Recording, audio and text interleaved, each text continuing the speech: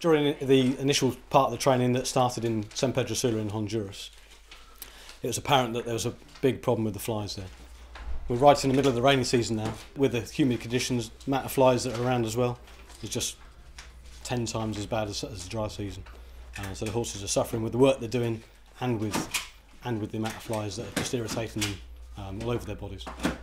With little or no veterinary help in that particular area for the for the communities we're working with, um, the fly fringe appeal has been has been has been perfect.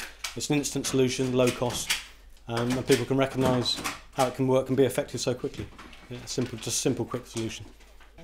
I've just been sorting through all the different fly fringes, different sizes, different types, all all perfectly usable, um, and making sure they're all going to be um, packed off, uh, ready to use on the, out in the country.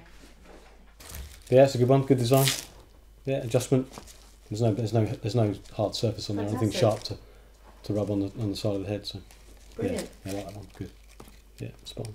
Just in the short time this appeal's been running, just to see the response and the, the scale of how many fly fringes have been sent through is just for me to see it in this here, back up here in the head office is is, is great. Um, yeah, I've got just a cu- I've got just a customer for that. Have you? Yeah, Oh. yeah, San Pedro Sula, downtown, just a, just a, just a pony for that. Well, maybe you take that one with you next time. The amount of horses that we're dealing with, it's so important to keep this appeal running. There's, there's in, in excess of 3,000 horses just in San Pedro Sula in Honduras itself. Um, and that's just the first module in the first town that we've worked in in that, in that particular country. Right, we should get about 100 on each, each, each um, trip over in the suitcase. Brilliant. Um, and as soon as we get there, we can start fitting straight away.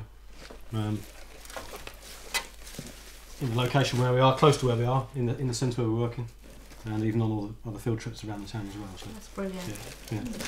The reaction from horse owners in, in Honduras has been fantastic, and they they're quite touched that supporters of World Horse Welfare are thinking about their situation, their horses, and, and what they can do for them. So they, to think that someone 5,000 miles away is is thinking about their situation, they're they're they're quite touched.